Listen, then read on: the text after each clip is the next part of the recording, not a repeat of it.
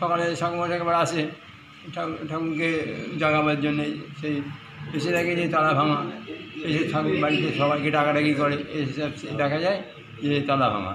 তারপর ভাইপোরা এলো, আমার নাতিরা এলো, এসে দেখল যে ঠিক আছে আমাদের ক্যামেরা ফিট করা আছে, দেখি কী পজিশন ওরা ক্যামেরা দেখে দেখে, দেখছে এই অবস্থা যে একজন কি দেখা যাচ্ছে, মুখ ঢাকা দিয়ে এসে তালা ভাঙছে, হাতে রেঞ্জ রয়েছে, জিনিস রয়েছে, সে সে অনেক অনেক চেষ্টা করছে ভাঙার জন্যে। সে ভাঙতে মানে ভাঙতে পারছে না, কিন্তু খুব চেষ্টা করছে, করে একটা একটা করে ভেঙেছে। সেটা ক্যামেরায় শো হচ্ছে। কিন্তু সেটা তো মুখ বাঁধা অবস্থা দেখা হ্যাঁ, যাচ্ছে। হ্যাঁ।